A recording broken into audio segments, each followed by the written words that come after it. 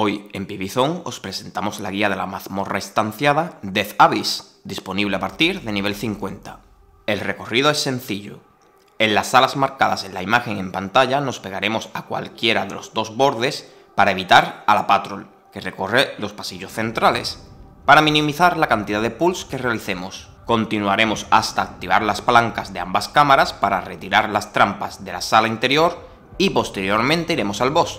Eso sí, en las cámaras de las palancas únicamente mataremos a sus respectivas patrols y a los enemigos que estén cerca de la entrada. El primer enemigo destacable es el Enchantiz Archeum Arbiter, al cual reconoceremos por su gran espada y porque es el único enemigo que conforma las patrols de la mazmorra. Este tiene un ataque de furia que realiza de manera estática y solo afecta a todos los que estén enfrente de él a melee, y otro ataque de furia en salto tras el cual siempre realizará un ataque peligroso, el cual podremos advertir gracias al brillo rojo que adquirirá el mob, y este ataque causará una OE con daño masivo que podría wipear a la party.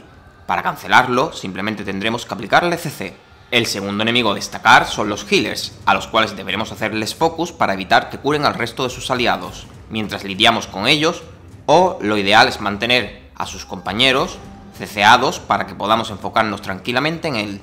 Al igual que en su versión de nivel 20, este realizará una serie de áreas bajo los pies de todos los miembros de la party.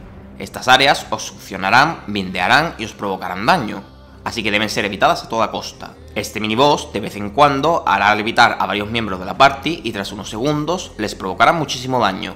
Para evitar que esto ocurra, los miembros que estén libres deberán aplicarle CC y por último tendrán un ataque de furia, del cual todos deberéis cubriros ya que se trata de un AOE. El segundo miniboss debe ser tanqueado mirando hacia las paredes, ya que ejecutará ataques frontales que afectarán a todos los miembros que tenga enfrente. También ejecutará un ataque de furia que puede stunear al tanque, por lo que este deberá cubrirse.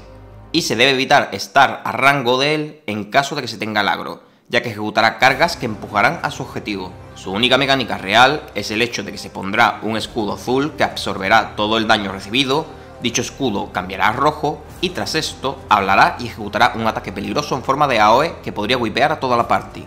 Para evitarlo, simplemente tendremos que realizar varios CCs simultáneos en el momento en el que hable tras la desaparición de los escudos. Antes de empezar, asignaremos posiciones para la fase de cuchillas a cada uno de los miembros de la party. En la posición 1 se colocará el tanque, en la posición 3 o 4 se colocará el healer y en la posición 6 se colocará un DPS Range o Caster, que actuará de cebo para la mecánica de teletransporte. También pondremos un pin en el centro que actuará como punto de reunión para la mecánica de la pompa. Este boss debe ser siempre tanqueado mirando hacia la pared, ya que ejecutará ataques en forma de cono. Este ataque puede ser evitado por el tanque y por cualquier miembro del grupo si os acercáis lo máximo posible al boss, hasta el punto de que entréis en el círculo amarillo que este tiene bajo sus pies en el suelo. La primera mecánica que realizará es la de teletransportación. Este siempre se teletransportará hacia la espalda del jugador más alejado, para ejecutar el ataque en forma de cono antes mencionado, y luego lo repetirá con el siguiente jugador más lejano. Para lidiar con esta mecánica, simplemente tendremos a un DPS range o caster a máxima distancia del tanque en todo momento. Dicho DPS girará el boss para hacer que apunte su primer ataque hacia la pared y posteriormente el boss y el tanque harán exactamente lo mismo, Recordad que debéis girar al boss estando dentro de su círculo amarillo, para evitar que recibáis el daño del ataque en forma de cono y minimizar la carga de curación en el healer. Tras las dos teletransportaciones, volverá a hacerlo una tercera vez detrás del tanque, y realizará un ataque de furia rápido que provocará stun en todos los jugadores a melee, si no es bloqueado, y por si fuera poco, tras unos segundos, realizará otro ataque de furia más lento en forma de AOE, que hará muchísimo daño, así que todo el mundo debe bloquearlo. Después de dicho ataque, liberará 3 o 5 cuchillas, dependiendo de su vida restante, y estas perseguirán a los miembros de la party, así que todos deberán morfear e ir a sus posiciones asignadas. Una vez estéis ahí, os quitaréis vuestras morphs y quitaréis las cuchillas realizando círculos en vuestra posición, teniendo en cuenta que durante este proceso el boss hará simultáneamente la mecánica de teletransporte, aunque gracias a que el tanque está en la posición 1 y el cebo en la 6, siempre se moverá entre estos dos. Además, debido a que colocamos al healer en las posiciones 3 o 4, si el DPS cebo sufre mucho daño por las cuchillas o por el ataque en forma de cono, el healer alcanzaría a curarle evitando la muerte de dicho miembro.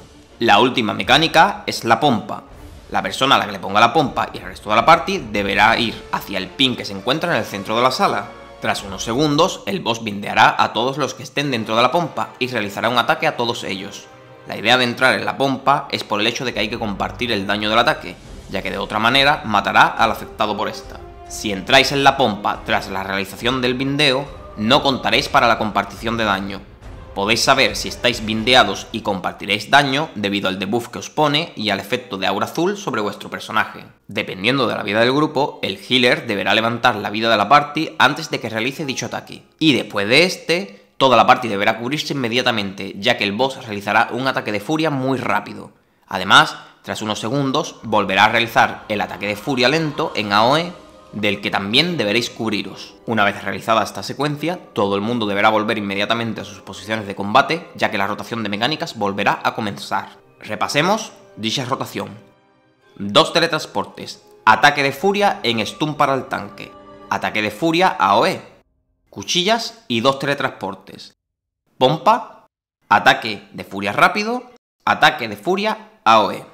Esto se repetirá hasta que el boss muera y lo único que variará a lo largo del combate es que cuando el boss esté por debajo del 40% de la vida, lanzará 5 cuchillas gigatorias en lugar de 3.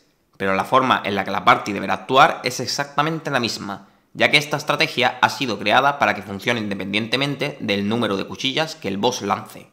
Por último, no olvidéis seguirme en mis redes sociales si queréis más guías sobre Throne and Liberty y por supuesto para más contenido sobre MMOs y RPGs. Hasta otra y que el RNG os acompañe.